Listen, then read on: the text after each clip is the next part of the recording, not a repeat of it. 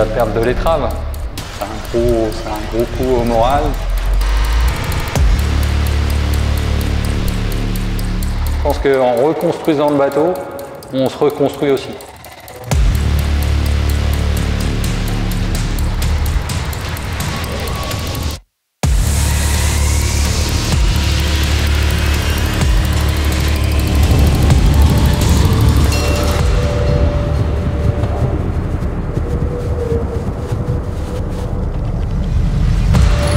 S'il y a déjà eu une révolution aussi importante dans la voile. C'est beaucoup plus dur qu'une Jaguar. Faut pas croire que ça va être une course facile.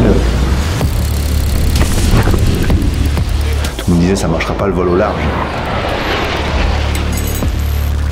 Et là on vole vraiment au large, donc c'est fabuleux quoi.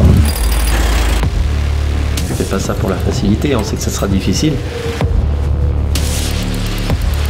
Avec des conditions météo, avec de la tactique, de la stratégie euh, qui va évoluer en permanence. Avec des concurrents qui ont du répondant.